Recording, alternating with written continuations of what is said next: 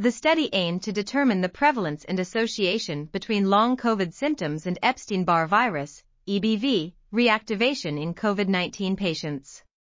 Out of 185 surveyed patients, 30.3% experienced long COVID symptoms, including four initially asymptomatic patients who later developed symptoms. In a primary study group of 68 patients, 66.7% of long COVID subjects were positive for EBV reactivation based on positive titers for EBV early antigen diffuse, EAD, IgG or EBV viral capsid antigen, VCA, IgM.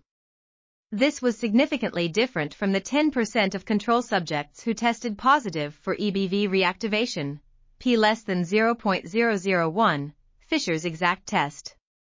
A similar ratio was observed in a secondary group of 18 patients tested 21 to 90 days after COVID-19 infection, suggesting that many long COVID symptoms may be the result of COVID-19 inflammation-induced EBV reactivation.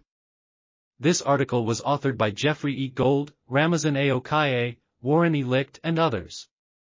We are RTCL.TV, links in the description below.